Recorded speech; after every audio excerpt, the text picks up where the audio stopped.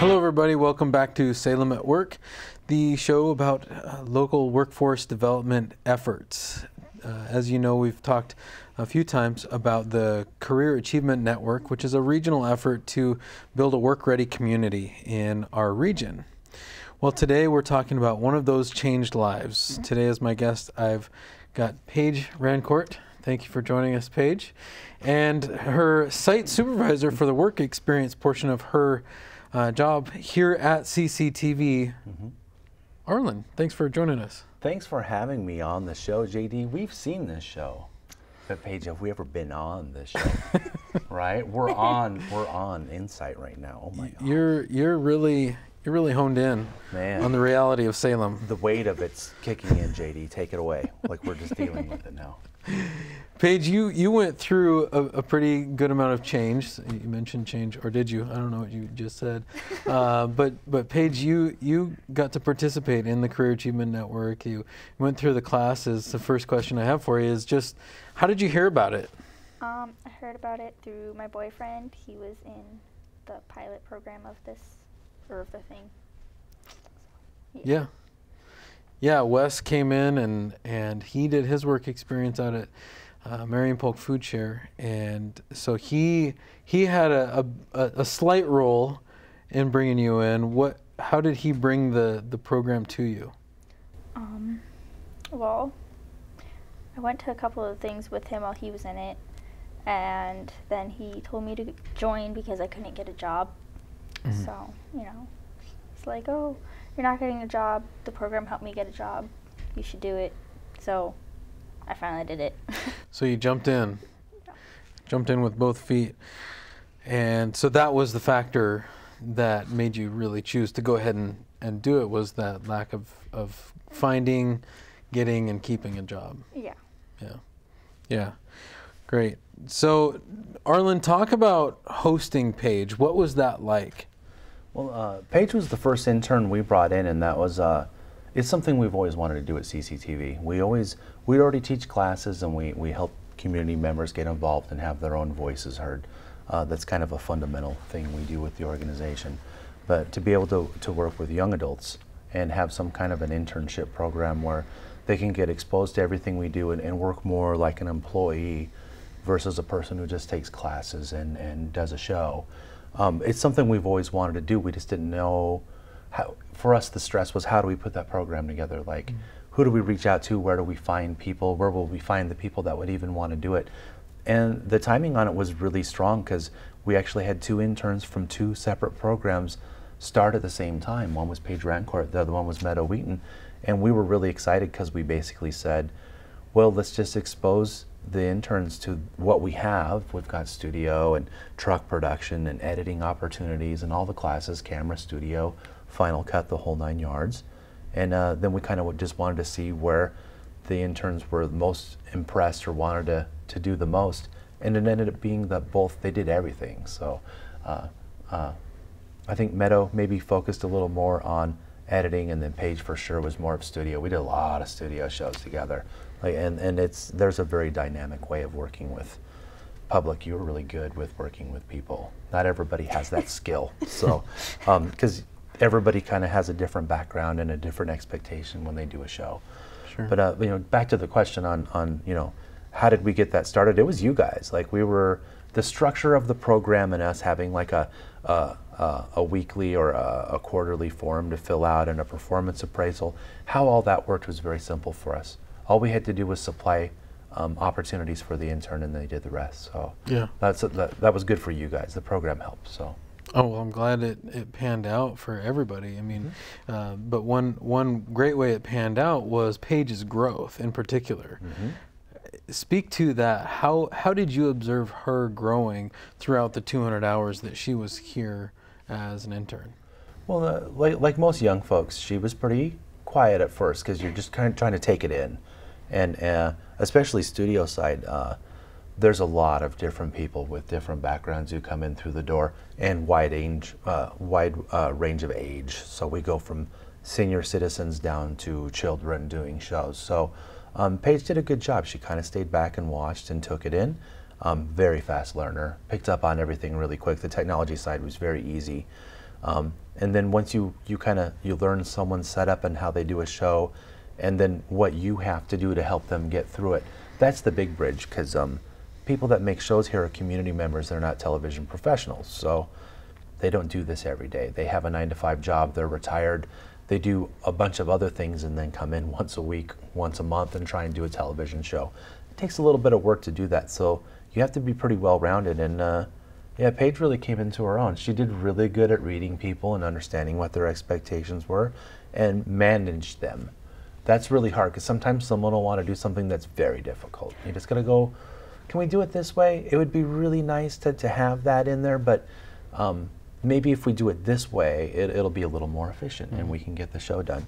And at the end of the day, uh, did the show get done? Did it make it to the Dropbox? Did it play on the channel? That's the ultimate game we play every day. And, mm-hmm. and Paige was awesome. She, she did very well.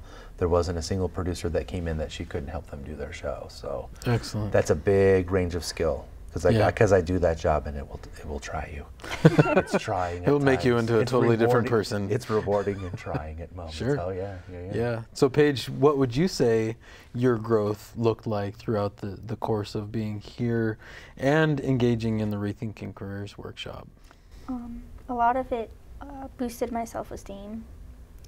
It also got me to do things I wasn't allowed to do in high school. That dealt with the self esteem problems that happened my senior year. I was bullied and my counselors told me I was too stupid to do things I've wanted to do since I was eight in high school. Um, I couldn't do TV production because I was too stupid and it wouldn't fit in my schedules. Um, I was bullied, and I came here. All the staff, mostly Arlen and producer Michael Severin, boosted my self esteem hmm. back to where it was my junior year of high school, which was like beyond high, and believing I could do anything. Mm-hmm. Um, they didn't make me feel bad that I wasn't in college yet, I wasn't doing this yet, that I was just trying to find my way. And they helped me find my way. And so did the program. That's really amazing that that the influence of a few people can can take you from from going from from a great high spot and, and then plummeting down into Badville uh, and then bringing you back up by by a, a small, really a small investment. Um, 200 hours is not that long, and yet you're saying that throughout that that course of time, you went from basically a year of bullying and, and wiped it out and, and moved yourself back to where you had been in a really good spot. Yeah. That's really encouraging.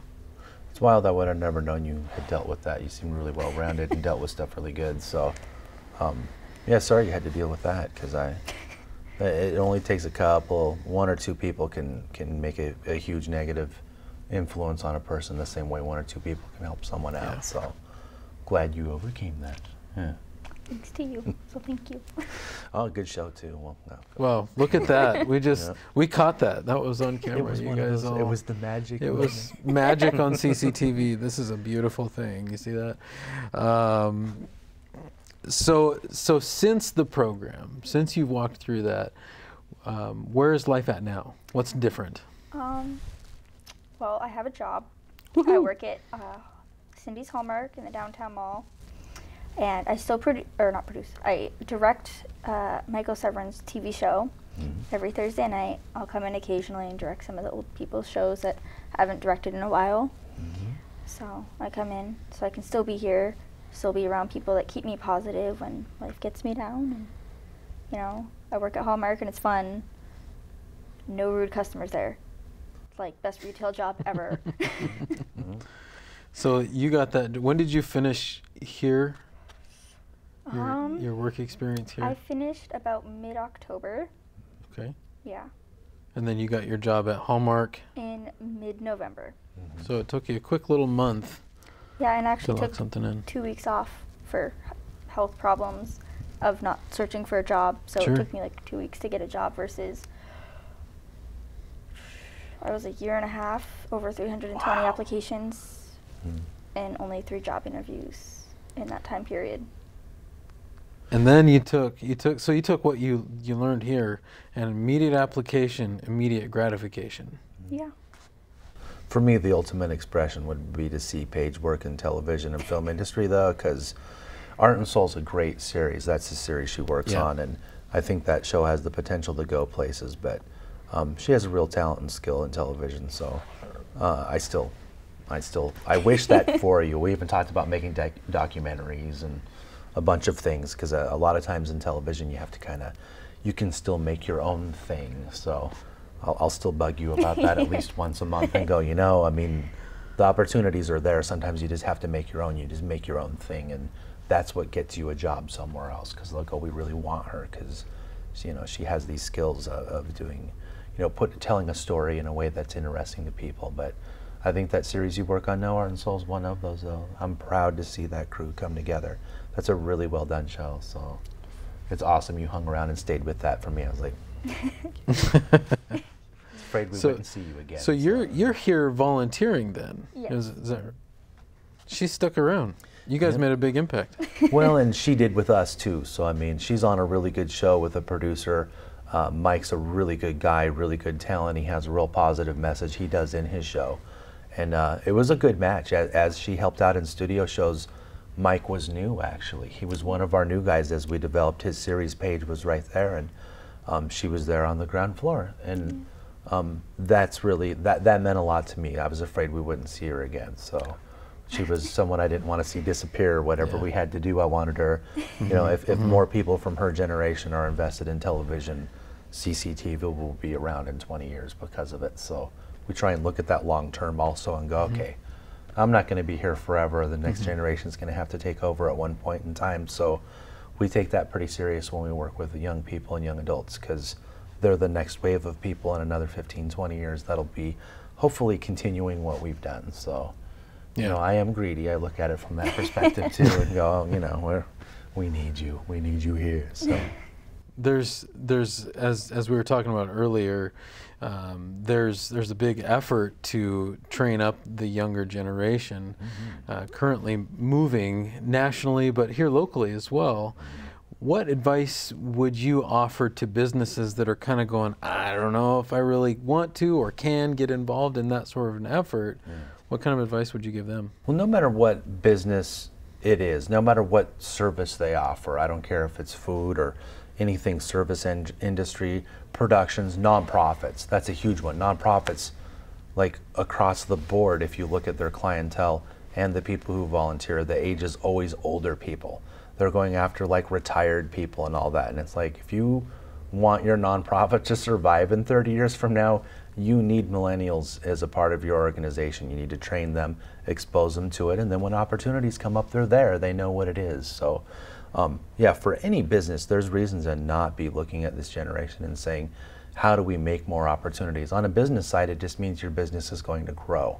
If you're doing your business correct and we get out of this, you know, we've been at a, a pretty good standstill, but things are growing very slowly and steadily.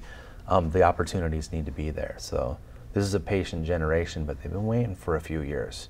There's a lot of people waiting for their chance to do something. So mm-hmm. I, I, embrace that. Uh, something Paige and I also talk about too on the side is that her generation is they're making things and innovating faster than we did, and a lot of that's because of this current economy. It's because they don't see the opportunities as much. So a lot of them are making their own things. So that's where internet and you know web design and all that is really kind of graphic design and um, storytelling, which is what we get into with videos. Is sure. a lot of her generation saying, "Fine, I'll forge my own way." But for a local business, I mean, these are the people that'll run it one day. So if you can get them early and they're into what you do, that's a that's like a lifetime employee. That's what you want. Sure. That's your ideal employee is someone who says, "I don't want to ever go anywhere. I want to stay here."